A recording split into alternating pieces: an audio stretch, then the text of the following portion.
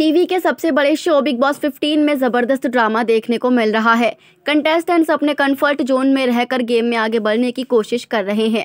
बीते दिन वीकेंड का वार एपिसोड में सलमान खान सभी कंटेस्टेंट्स को फ्रंट फुट पर आकर खेलने की सलाह देते हुए नज़र आए। वहीं सलमान खान की फटकार सुनने के बाद करण कुंद्रा इमोशनल दिखे। आइए जानते हैं बिग बॉस 15 के बीते दिन के एपिसोड में क्या खास रहा।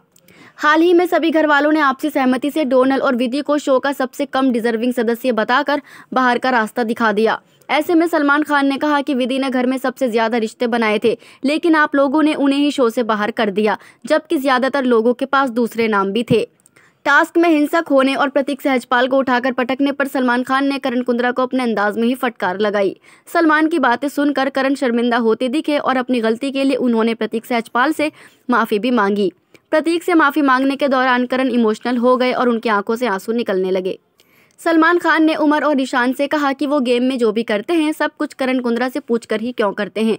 गेम में उनका खुद का कोई स्टैंड नहीं है। सलमान इस बात को लेकर उमर और ईशान का मज़ाक उड़ाते हुए दिखे। सलमान खान ने प्रतीक से सवाल किया कि जब करण कुंद्रा ने उन्हें पटका था तो उन्होंने रिएक्ट क्यों नहीं किया? इसके जवाब में प्रतीक ने कहा कि करण उनके पहले शो के होस्ट हैं और वो करण को एक आइडल की तरह देखते हैं और उनकी बहुत इज़्ज़त करते हैं। ऐसे में उन्हें करण की हरकत पर गुस्सा नहीं आया, बल्कि उनको तकलीफ़ हुई, इसीलिए उन्होंने रिएक्ट नहीं किया।